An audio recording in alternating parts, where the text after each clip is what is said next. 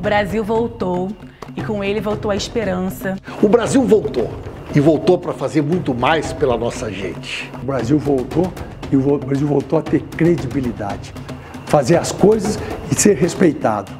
Olha, a orientação do presidente Lula foi sempre garantir a retomada de todas as obras do Brasil nesses primeiros 100 dias. Isso é muito importante, porque infraestrutura significa competitividade.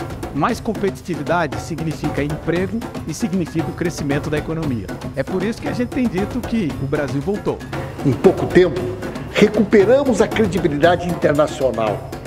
Estamos recolocando para o povo brasileiro um conjunto de direitos que haviam sido tirados. É o Bolsa Família que voltou, é o Mais Médicos que voltou, é o Minha Casa Minha Vida que voltou.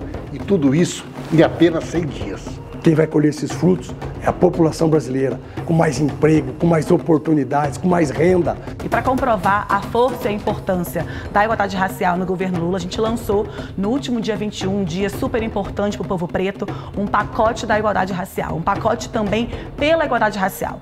100 dias é só o começo, a gente tem muito ainda para entregar. E 100 dias é só o começo.